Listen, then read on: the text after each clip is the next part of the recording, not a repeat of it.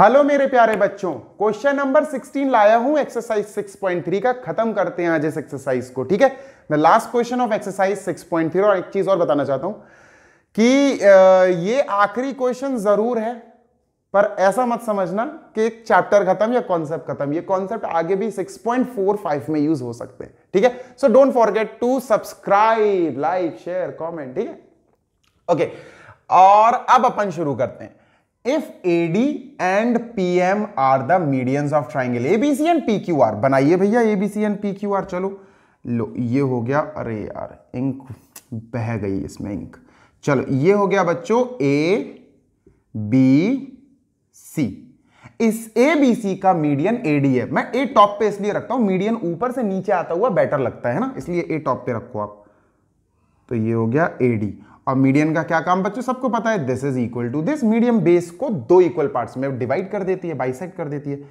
अब बच्चों, दूसरा ट्राइंगल है पी क्यू आर चलो भैया पी क्यू आर बना देते हैं let's make P Q R ठीक है दिस इज़ पी टॉप से क्यू आर और जो पी से अब आप पी एम बनाएँगे ना मीडियन वो बच्चों क्यू आर पे गिरेगी। ठीक है सो दिस इज़ एम और बच्चों, ये भी इस बेस को दो इक्वल पार्ट्स में स्प्लिट कर देगा डिवाइड कर देगा। चाहो तो आप लिख भी सकते हो कि B D becomes equal to C D है ना? या फिर आप ये भी लिख सकते हो कि ये दोनों बी सी के हाफ़ हैं, है ना? बी डी और सी डी दोनों आधे आधे हैं बी सी के। इधर भी लिख सकते हैं बच्चों अपन। Q M equal R M है ना? Q M R M equal है और दोनों को we can write Q R का हाफ़ भैया, ये भी क्यू आर का आधा, ये भी क्यू आर का आधा, ठीक है? लिख दिया अब देखते हैं आगे काम आता कि नहीं आता। बच्चों, हमें दो ट्राइंगल सिमिलर भी दिए हैं और सिमिलर देते ही साथ हम, मैंने आपको बताया था कि अगर ट्राइंगल सिमिलर हो तो बच्चों, हमें क्या क्या चीज़ें मिल जाती हैं। तो A B C is similar to triangle P Q R बच्चों राइट ये हमें गिवन है। और बच्चों, इस गिवन की वजह से हमें छह चीज़ें मिल गई। क्या?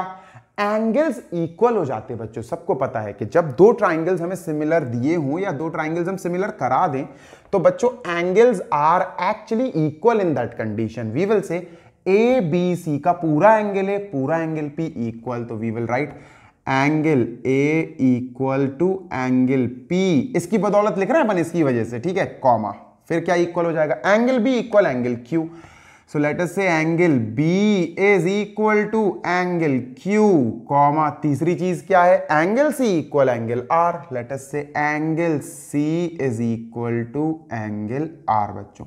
लो भैया ये एंगल इक्वल ये एंगल्स इक्वल ये angles equal this whole A equal whole P B equal Q C equal R लिख दिया। साइड्स का क्या होता? साइड्स इक्वल नहीं होते हैं कि आप लिख दो A B equal P Q no A B upon P Q will be equal to है ना साइड्स का रेशियो इक्वल होता।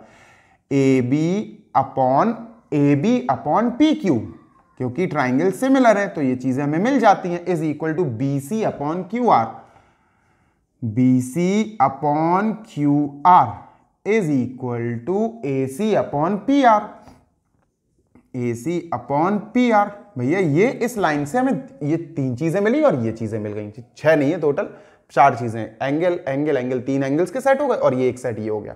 बच्चों ए बी और ए डी को देखो। ए बी और ए डी पी क्यू और पी एम को देखो। आप गौर से देख रहे हो, आपको ये वाला ट्राइंगल एक्टिवेट होता नज़र आ रहा होगा और ये ट्राइंगल एक्टिवेट नज़र आ रहा होगा ना? ये पार्ट नहीं है काम का, ये पार्ट नहीं है, अगर ये प्रूफ करना है आपको। तो बच्चों बेसिकली हमें इन दो ट्राइंगल्स को अलग बनाना चाहिए कि हाँ ये हमारी जो प्रूविंग है, जो हमें शो करना है, जैसे हमें जो दिखाना है, उसके हिसाब से तो हमें पूरे पूरे ट्राइंगल्स या पूरे पूरे की ज़रूरत नहीं है। क्या शो करना है? A B upon P Q is equal to A D upon P M ये शो करना है ना? तो इसके लिए बच्चों, जो एक्टिवेटिंग ट्राइंगल्स है, वो है A B D P Q M चलो बना लेते हैं। ट्राइंगल दिस इज़ बच्चों ए बी डी ठीक है? और यहाँ बना लेते हैं पी क्यू एम ओके? चलो लो भैया। This is P Q M बच्चों। This is P this is Q this is M right अब बच्चों, हमने angle B equal angle Q, गौर से देखो, B एंगल इक्वल Q है ना? तो हम B एंगल Q यहाँ मार्क कर लेंगे, क्योंकि हमारी काम का है, यहाँ पर हेल्प कर सकता है ये, है ना? सिमिलैरिटी प्रूफ करनी पड़ेगी ना अपन को इधर। तो अपन यहाँ पर लिख लेते हैं कि हाँ भैया सर ये हेल्प करेगा अपनी तो इधर एंगल बना लिए। अच्छा सुनना मेरी बात बच्चों। गौर से।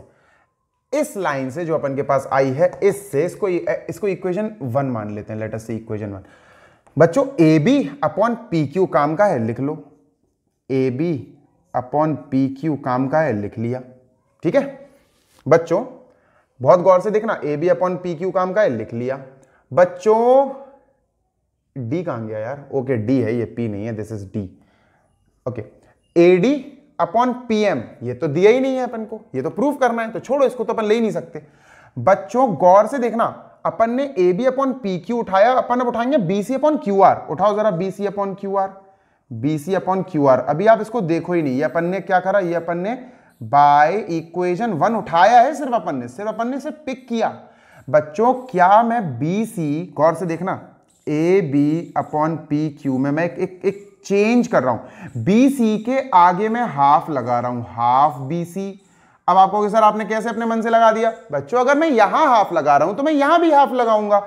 हाफ़ क्यू आर है ना? अपर और लोअर डिनोमिनेटर और न्यूमिनेटर दोनों में मैंने हाफ़ हाफ़ लगाया। उसका रीजन है बच्चों, मुझे यहाँ बीसी नहीं दिख रही है, मुझे यहाँ क्यू एम क्यू आर नहीं दिख रहा है, पर मुझे बीडी चाहिए। बच्चों बी डी बी सी का आधा है। देखो गौर से, अगर मैं कहूँ B D is equal to क्या है बी सी का? तो आप कहोगे, सर बी सी का हाफ़ है। बच्चों, इसको वहाँ ले जाओ। तो ये बी सी अपॉन टू लिखा मैंने बी डी को। देखो बी डी की जगह बी अरे कहाँ चला गया? बी सी की जगह बी हम्म हाँ हाफ़ बी सी सुनो सुनो सुनो। यस हाफ़ बी सी लिखा। बी सी के पहले मैंने बस हाफ़ लगा दिया। क्यू आर के पहले मैंने हाफ़ लगा दिया। इससे हुआ क्या बच्चों? इससे ये पोर्शन हमारा, हमारे क्वेश्चन को प्रूव करने लायक बन जाएगा। कैसे देखो? A B upon P Q मैं दोबारा लिखता हूँ इसको। बच्चों हाफ़ बी सी इस बी सी का आधा सी डी भी है, इस बीसी का आधा बी डी भी है, इस बीसी का आधा सी डी भी है और बी डी भी है, पर मुझे सी डी का कोई काम नहीं है, मैं बी डी लिखूँगा। So I will write B D upon बच्चों, इस हाफ़ क्यू आर का, इस पूरे क्यू आर का हाफ़ एम आर भी है और क्यू एम भी है, मैं तो क्यू एम लिखूँगा। मुझे क्यू एम से काम है। और बच्चों, जब ये पोर्शन इक्वल आ जाए this upon this this upon this equal आ गया this upon this is equal to this B D upon Q M आ गया। उसके बाद बच्चों angle B equal angle Q अपन ऑलरेडी लिख ही चुके हैं ऊपर। देखो बी एंगल क्यू इक्वल लिख ही चुके हैं। तो बच्चों, ये दोनों ट्राइंगल तो होगा सिमिलर है ना?